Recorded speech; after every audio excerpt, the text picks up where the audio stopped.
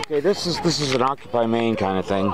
As far as Occupy Maine, I do Occupy Maine. As far as what is it? A National Geographic project was uh, for uh, a mathematician said basically if we got all humans together, um, how much space would they take up in, in, in reality? This is Bangor, uh, part of part of Maine. That's a tree, I think. Looks like a tree. Could be, could be a simulacra. I, I was with this guy who's going to be dominant in the Masons, Tom Sawyer, strange name, uh, who is um, he's got an artificial house. Stephen King's wife, no, or his archi- his wife is an architect. Designs Tabitha King's like rather POS house. It's really not a good. If I had a friggin' trillion amount of money, I'd have a house that would be really uh, provocative. Agent provocateur, what a, hey, yeah, provocative. Anyway, you get everybody on the planet to occupy Maine. How about get everybody on the planet to occupy Russia?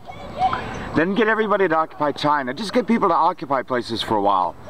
Housing might be a problem. I mean, you'd have to have uh, 10 cities, maybe you'd have to have a plenty enough food.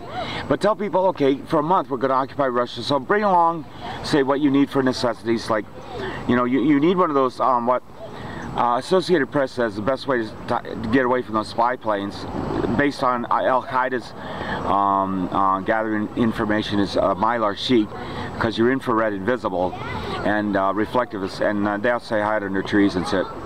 But anyway, that that'll that'll keep you warm if it's. I mean, occupy places on the planet when it's warm to occupy them, like occupy Alaska during the summer. But if all humans on the planet could get onto Rhode Island, then they can easily go get onto Russia or China or Maine or any damn near any other country. Occupy the Vatican. It's pretty friggin' small, but occupy Italy? I don't know. Occupy Maine. It's a good idea. Where is it? I don't know. It would be interesting if more people decide to occupy Maine.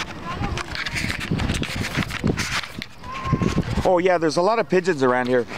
Somebody told me they got they imported hawks to kill them, but I said, what's gonna what's gonna like make the hawks stay? Because they'd fly off.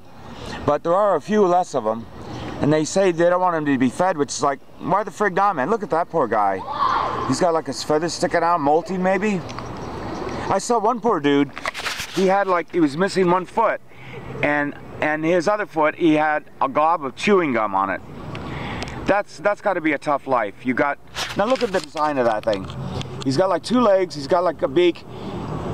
It's you know he's that's he can't he can't get his mouth down to his feet to get chewing gum off his feet. He can't get his feet up to his mouth. That's not a he's great for flying, but you know we got to bioengineer these little bastards. I ran into Chris today, and he's got some information on bioengineering. I got my book on genetics. Genetics for Beginners, introducing genetics. So anyway, two good movies. Uh, Splice. Uh, that's for No Job X Links and The Ruins. So who knows? Occupy Maine, why not?